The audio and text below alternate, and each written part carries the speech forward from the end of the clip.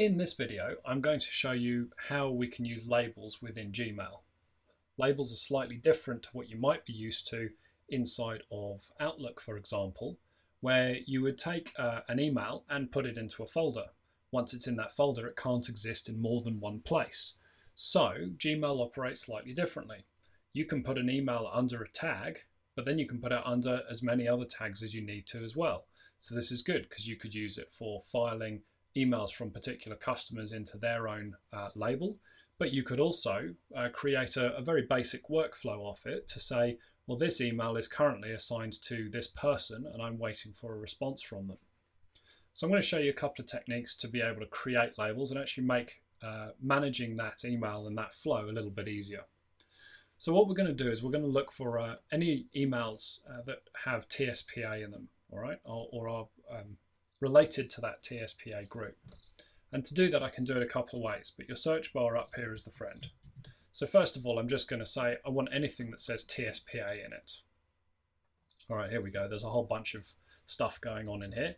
Particularly, we've got some moderators reports and things. So that's fine. I'm going to go with that for the moment. Now I can click the little drop down box here, and that will show me that I've searched for uh, emails from anyone to anyone I'm just going to move that into the subject. Not that it makes much difference, but I know that these particularly have them that word in the subject.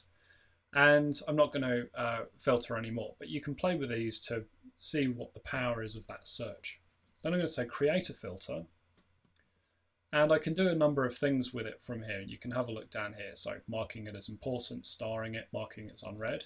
But in this case, what I want to do is apply a label so I, don't have a label for that currently, so I'm going to click that and then type TSPA and click create. Now, because I have these uh, items here already, I also want them to be applied to that conversation. So I'm going to click create filter. Now what's going to happen is whenever a new email comes in and it has TSPA in the subject line, it will automatically get tagged with that TSPA tag. So as you can see, our filter has added TSPA to this particular item. Now if I scroll down the left hand bar here, I can see I have a, a tag now called TSPA. And there we go, there's all of my emails. Now for example, if I want this tag to always show up the top of the list, I can change the options on it here. First of all, I might want to change the color of it, so I want those to appear in red. There we go, it's going to make them stick out a bit more when they're in the inbox. And I also might want to only show it if it's unread. So I'm going to tick that. Now, as you can see, Google only gives you the first few, what's that, seven labels in the sidebar, depending on your screen real estate that's available. So what I'm going to do is I'm also going to hide or change to show if unread a few other labels. And by doing that, oh, as you can see, there's no emails in there.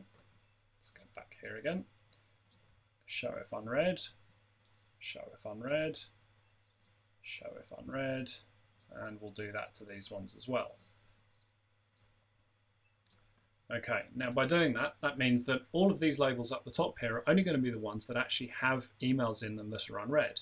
Everything else is going to be down the bottom here, or depending on the way I've set them up. So this one's just under hide, which is why it's down here, but it does have some unread emails. That way, as your emails come in, your labels over here might change and you can easily filter them down.